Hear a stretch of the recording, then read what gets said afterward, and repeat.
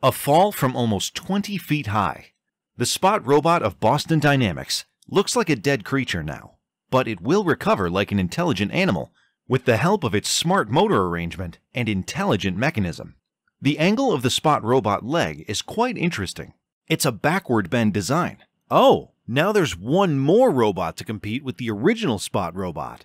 The maximum speed both the robots can achieve is almost the same. But what about this stair climbing challenge? This forward bend robot collides with the stairs. But the backward bend leg gives it a clear advantage, allowing it to climb over stairs. A funny reason why Spot's engineer chose a backward bend design is because this type of robot can give you a handshake quite easily. Let's achieve this amazing Spot robot design starting from the simplest design possible. In this simple Spot design, each leg obviously needs two motors for its operation. These visuals clearly show the details of the motor connection at the hip joint. A planetary gear set is used in between the motor and upper arm. This is for torque multiplication. You can see how it operates the upper limb when you power the motor. Now, Let's see how the knee motor is connected. The stator of the knee motor is fitted with the lower end of the upper limb.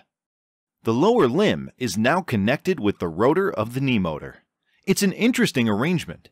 The upper limb is supported by a motor, and this limb is supporting another motor. Using these eight motors, you can achieve any angle for the eight limbs. We can now attach a controller to the robot and vary these angles randomly. Clearly, the robot won't be able to make any meaningful movements if we simply feed it random angles.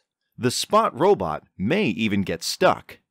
We can imitate nature and resolve this issue. Here, we are recording the angles of the limbs of a dog at different instances while it walks. Now, let's feed the robot with these angles. Hooray! The robot moves forward smoothly. However, with this design, the Spot's battery charge quickly depletes. Let's analyze why this is happening. When the hip motor rotates, it has to lift the weight of the upper limb, lower limb, and knee motor also. During the leg lifting operation, the various torques which are acting on the motor are shown here. You can reduce power required for this lifting just by moving the knee motor closer to the hip motor. Since the knee motor weight is closer to the hip motor, the torque required drastically reduces. However, how do we control the lower arm? It is far away from the knee motor. The answer is obviously a mechanism between the knee motor and lower limb. Before understanding this mechanism, let's make a small design change so that the torque requirement will be slightly reduced.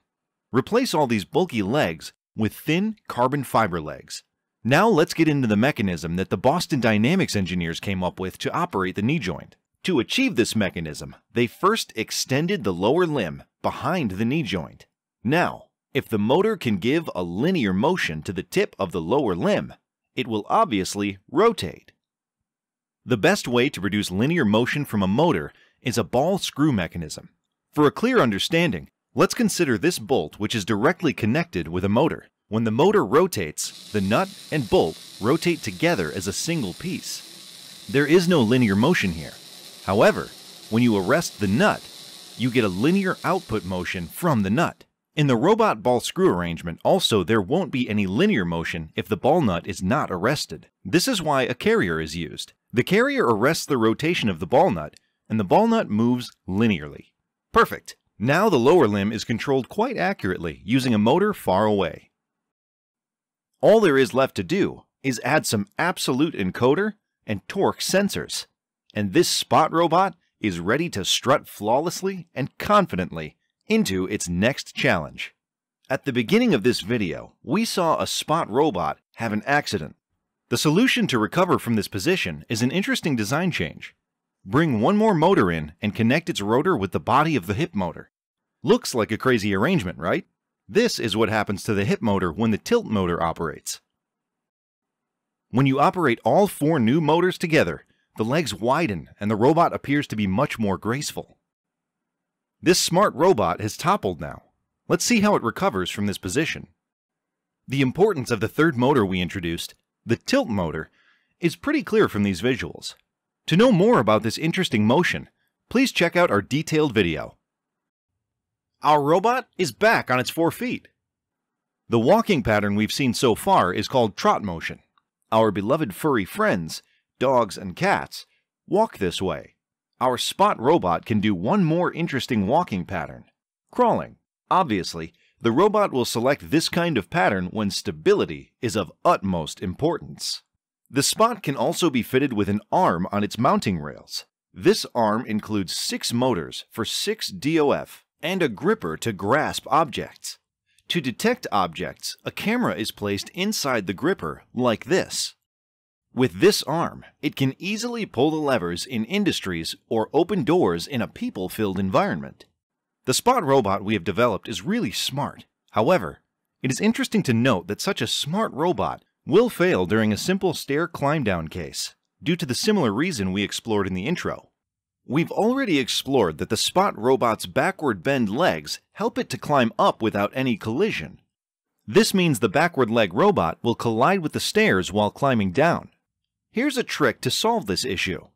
Just program the robot to walk backwards during the climb down operation. This is why the Spot robot has a set of visual cameras on its back. Now the genius part of the video.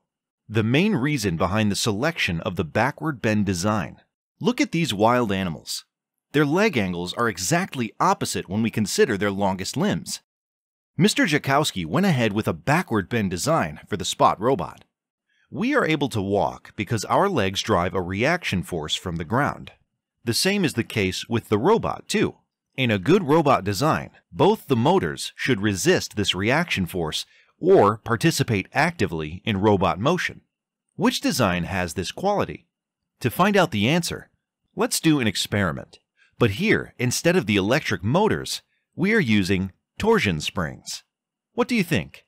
In which design will both of these springs get compressed? I hope most of you are given the answer B. In design A, when I apply the force, the spring 2 is not at all getting either compressed or stressed. But in design B, both these springs are going for a compression. This shows that in the backward bend design, both the motors will play an equal role. This is exactly why the Boston Dynamics engineers selected the backward bend design for the Spot robot. You can easily find the reason behind it with this torque analysis. Would you like to be a robotics engineer? To start your career in robotics, please check out our detailed course on robotics. Thank you.